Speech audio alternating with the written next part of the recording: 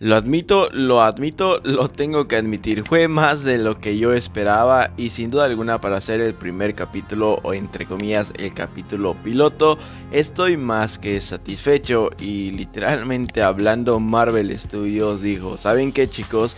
En este capítulo número uno les voy a estar dando contexto, contexto, tras contexto y ustedes se la van a tragar sin pretexto. Porque vaya que es uno de los capítulos en cuestión de series de Marvel Studios que ha revelado muchísima, pero muchísima, demasiada información no solo concisamente hablando del personaje de Hulk, sino exactamente sobre anteriores películas que hemos tenido en el universo cinematográfico de Marvel. Pero bueno, esto les hablo a detalle en un ratito más. Yo soy Tuna Caballo Charlie Viegas, te doy la bienvenida a mi video opinión crítica con spoilers al capítulo número 1 de She-Hulk. Comencemos. Bueno, bueno chicos, quiero comenzar con algo interesante. Eh, bueno, literalmente hablando creo que es lo más importante y creo que tal vez lo ponga en la miniatura del video y posiblemente también en el título. Porque es un tema que hizo muchísima polémica en su tiempo y luego sacaron un tráiler mm, entre comillas mejorado que de mejorado pues no es como que tenga muchísimo. Y bueno eh, luego salió un avance entre muchas comillas mucho mejor mejorado en Disney Plus. Así que técnicamente y creo que ya sabes de qué estoy hablando es del CGI exactamente chicos los efectos especiales como tú le quieras llamar.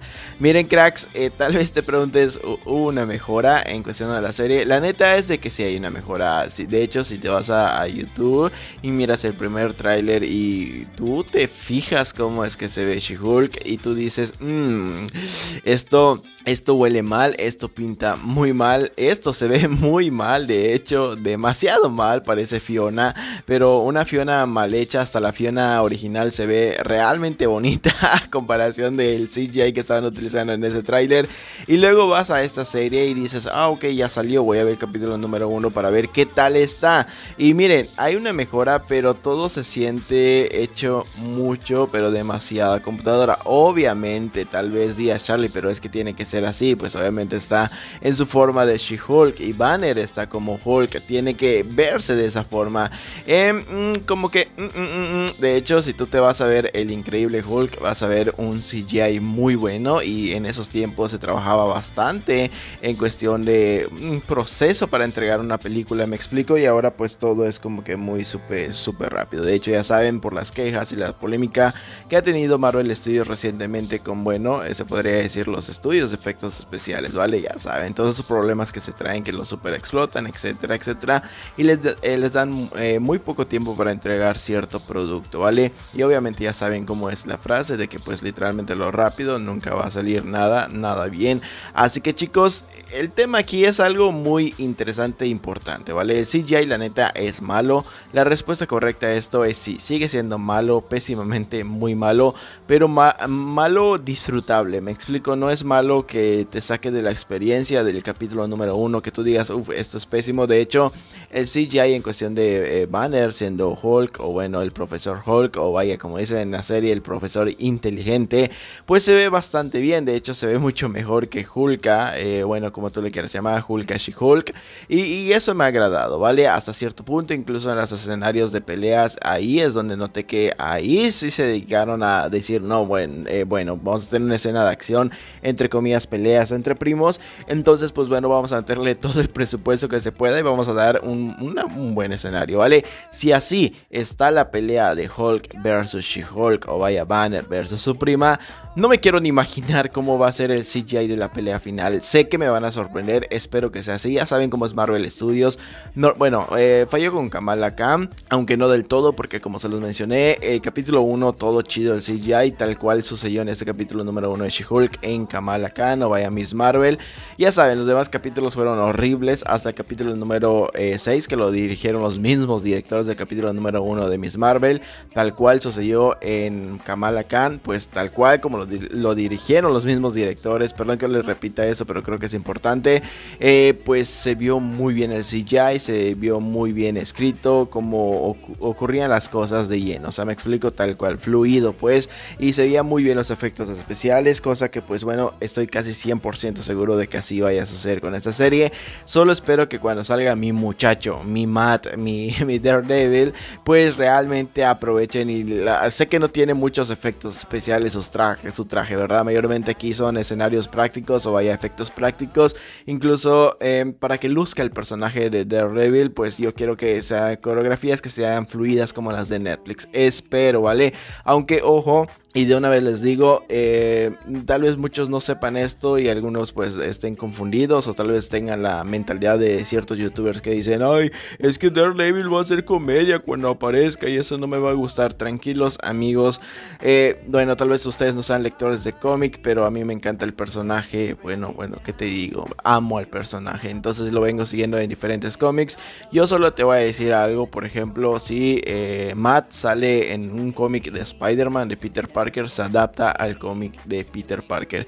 Si Matt sale en un cómic de She-Hulk, Matt se adapta al cómic de She-Hulk, por lo cual tal cual. Si Matt sale en su serie de Daredevil, se va a adaptar a su serie de, eh, Daredevil como lo, cual era, ¿vale? agresivo, sangriento, etcétera, es el lado oscuro, ¿vale? Si Matt va a salir en la serie de She-Hulk y la serie de She-Hulk es una comedia de abogados, como tú le quieras llamar, se va a adaptar a la serie de abogados, ¿vale? Si Matt sale en, en Echo y Echo, pues bueno, es sangriento, etcétera, va a ser el Matt que nosotros conocemos. Si Matt más adelante sale en una película del universo cinematográfico de Marvel, se tiene que adaptar al universo cinematográfico de Marvel en la pantalla grande. Así que por favor, no sean ridículos, no sean absurdos, esto sucede en los cómics. No que tanto les encanta que se adapten las cosas como son los cómics, pues te lo están dando. De que te quejas ahora, ¿ok?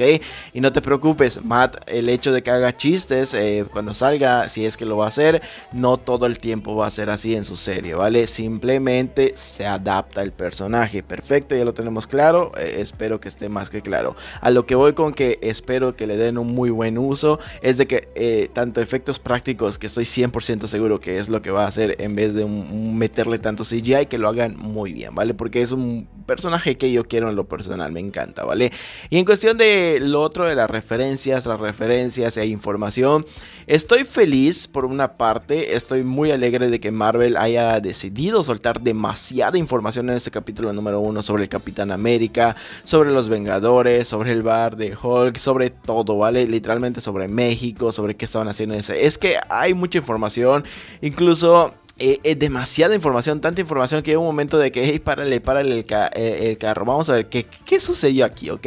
Y luego pues ya te explican que con lo de la sangre de, su prima, pues obviamente logró combinar, fusionar, como tú le quieras decir, con la de él, entonces su brazo se reparó, etcétera, etcétera, etcétera. Muy buen punto, muy buena justificación para demostrar, o bueno, prácticamente decir, no saben qué, fanáticos, ya se curó el brazo de Hulk, no te preocupes, no pasa nada, vamos a continuar con el personaje. Y estoy seguro que están haciendo esto, pues bueno, ya saben, para una futura película o una futura serie de, Hulk, ¿vale? Así que chicos, miren, estoy contento, estoy feliz por todas las referencias. Pero tal vez dijeron, eh, tal vez cuando estaban escribiendo el guion, no sé cómo funciona esto, obviamente yo no soy escritor de guion, tampoco vengo aquí a hacerme el experto, puedo saber muchas cosas de cine muchas cosas de serie, eh, eh, pero no, no, no soy un escritor, ¿vale? Pero tal vez yo en mi mente funcionó de algo como, ok, ya vimos el capítulo número uno, está, está bien, está pasable, pero como que algo falta para que pique, para que pegue, para que todos hablen de esto. Y Marvel dijo, oh, ya, miles de referencias y miles sin respuestas, sin explicaciones y nada más dáselo a los fans. Los fans consumen cualquier cosa de Marvel. Tú dale, tú dale, tú dale y van a decir que es el mejor capítulo del mundo cuando en realidad no lo es, entre muchas comillas. Pero tú dale referencias y vas a ver que el internet va a explorar, eh, explotar perdón, con las eh, respuestas de ciertas explicaciones que ya necesitábamos y literalmente no explican nada. Te dan, por ejemplo, en cuestión de la sanación de Hulk, pero te, te preguntas, pero ¿cómo? ¿Qué es lo que hizo? Qué es lo que realizó. Incluso todavía tenemos esa duda de cómo es que fusionó a, Banner prácticamente con Hulk y, todo ese rollo, ¿vale? Aquí simplemente te dicen, ¿sabes qué? Lo hice así, lo hice así. Ok, perfecto, me quedo con esa explicación, pero creo que no fue suficiente, pero lo acepto, porque es algo básico, es algo que, mira, ¿sabes qué? No lo ocupas saber tú, simplemente ya está hecho y listo, no te preocupes, ya estamos aquí de nuevo. Lo cual me agrada, ¿vale? Lo cual me gusta, pero a la vez como que sí, sí, sí siento ese pique de Marvel, te estás pasando, te estás estás pasando Marvel, pero gracias, lo agradezco como fan, ¿vale? Del universo cinematográfico de Marvel, de las películas, muchas explicaciones y esa escena post crédito que pues a pesar de no, no ser como una explicación importante, pues era justo y necesario que pues no los den a los fanáticos, que el Capitán América también, ustedes ya saben la palabra, pero estoy feliz, ¿vale? Y bueno, ¿qué te puedo decir de la actriz que le da vida a She-Hulk? Es tal cual como si la hubiesen sacado del cómic y bueno, la, es que es que una muy buena adaptación. Estoy feliz del papel, de cómo actúa.